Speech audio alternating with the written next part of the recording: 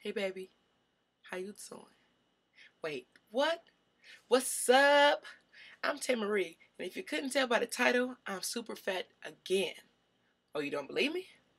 Boom, boom, flap my wings. Alright, sorry you had to see that, but now you know. So you want to know when it really hit me, like in the face, with a brick? Yesterday. So I went to the YMCA with my brother, had been in eons, and you know, before I even got to workout room, I already had back sweat. TMI, never. So I'm on the bike, doing my thing, you know, look around. Huh, fattest chick in here. To be expected. But then I catch a glimpse of myself in that big old wall of mirrors. And that's when I just thought to myself, oh man, I'm super fat again. Now, don't get me wrong, I've always been some variety of fat, whether it be fat, super fat, or super duper fat. Now, super duper fat could also be called morbidly obese. But that just sounds so depressing and irreversible. So, for all my intents and purposes, it's super duper fat. And according to some random article I read, it's like 1 in 50 Americans are super duper fat. So I bet some of you watching right now are fatties, huh? You can't get offended. I'm fat, therefore I'm allowed to call you fat. It's an unwritten fatty book. Well, I guess it's not a book since it's unwritten. And I just said it. Whatever. Anyways, we're all fat friends here. It's cool. So the reason that I want to like break down the negative wall surrounding hearing or saying the word fat is because first of all, that's the go-to joke from any jerkwad, you know, that you come across, especially if you're not ugly or stupid or drive a jalopy. Oh, you do drive a jalopy. Well, scratch the last one. But anyways, also, if you just get used to hearing or saying the word fat, then you can accept it. And with that acceptance, you can make affirmations. Like you can say, yeah, I'm fat, but I'm doing something about it. Now, if you're anything like myself and you gain weight in phases like I do, there are specific stages that you go through when you gain weight back. Now, first of all, it's not really that noticeable. You know, you just avoid scales at all costs. So you act like a vampire to a crucifix, basically, or whatever way, the other way around. Basically, you just avoid them at all costs and you stay comfortably in denial and you go on about your business. But then it's the fun phase. Phase two. That's when all your jeans start to strangle you from your belly. And you try to make excuses to reassure yourself that you're not getting fat, like, oh my god, I must be totally bloated today. Or, man, those, those jeans really shrunk in the dryer this time.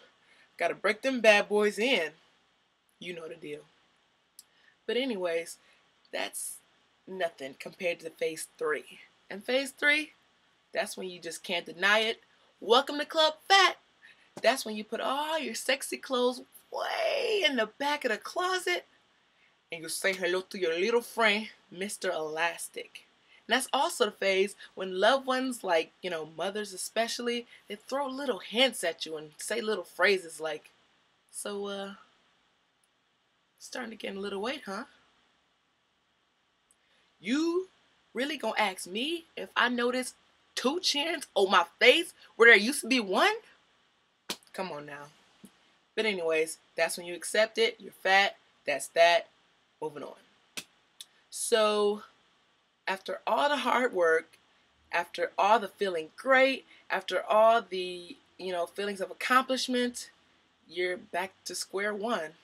Or, you know, maybe square two. You didn't have to gain it all back. But for me, not so long ago, I feel like I was at square zero. Like, I feel so bad about myself for gaining so much weight back, especially because I advocated for my weight loss plan so much. Like every time I got a compliment from somebody like, "Ooh, girl, you looking good," or um, like, "Oh, you really trimming down," all of that, it just made my head swell so big that like I felt invincible. I felt like fat better not mess with me, but I was wrong, so very wrong. And just the more, I don't want to say conceited, but the more confident I was that I couldn't get fat again, when I did realize that I was super fat again, that's when it all just came crashing down. I got reclusive. I chose not to hang out with friends. I declined invites from family members to parties. If you're watching this, sorry about that. And I just really kept to myself. And what did I do for all this time I was being reclusive? I basically just smashed. I mean, I smashed. Like when I first, it's like I noticed I'm huge. So instead of doing something when I first noticed, no, I decided to smash. I mean, I probably ate enough in eight months to feed like a full family for a year. Like I gained 100 pounds in eight months, and I know that is ludicrous. Like for real, ludicrous to gain that much weight to let myself go that far from accomplishing after accomplishing so much. But that's what happened, and yeah. So after you know, uh,